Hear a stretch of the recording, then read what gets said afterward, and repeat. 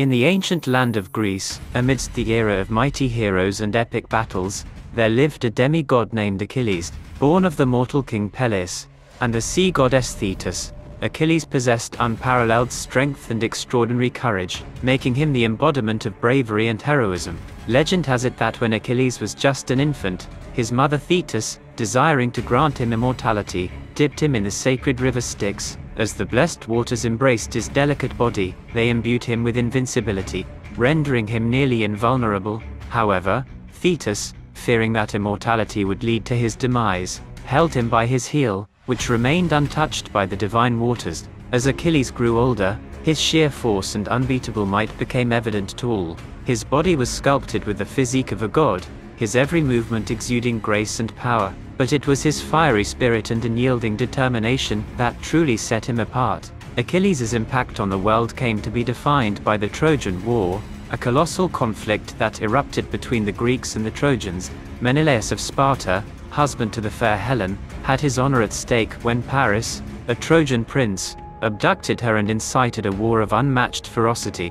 Achilles, driven by his thirst for glory and by the prophecy of his own fate, eagerly joined the Greek forces. In battle, Achilles was a sight to behold. Like a rampaging storm, his sword, adorned with intricate engravings of mythical creatures, carved through the enemy ranks with ease. His impenetrable armor glinted under the sun as he advanced fearlessly, inspiring his fellow warriors to fight with unmatched vigor. But his greatest weapon was his unbridled fury, ignited by the injustices inflicted upon his fellow Greeks. However, among the spoils of war, Achilles also had a deep connection with his forbidden love Briseis. She was the captured princess of a neighboring city, brought to him as a slave.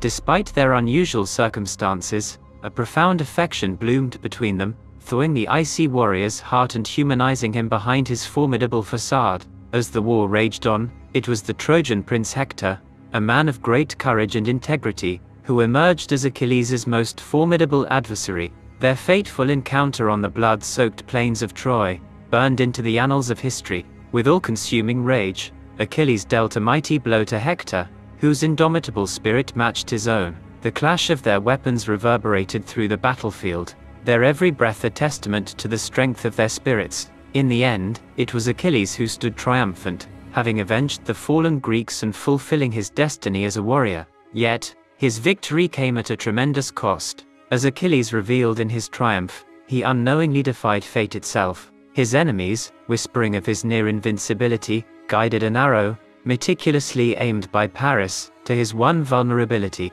his heel. Sorrow echoed through the Greek camp as the mighty demigod, who had defied gods and inspired awe, finally met his demise. The loss of Achilles sent shockwaves throughout the land, as his name etched itself into the very spirit of Greece, forever remembered as the unmatched warrior of the ancient world. So, let Achilles' story be a reminder, a tale of splendor and tragedy, of love and loss, recounting the life of a man who traversed both immortality and mortality, in his pursuit of glory. In the eternal tapestry of Greek mythology, the name Achilles shall forever ignite passion in the hearts of those who hear his epic tale.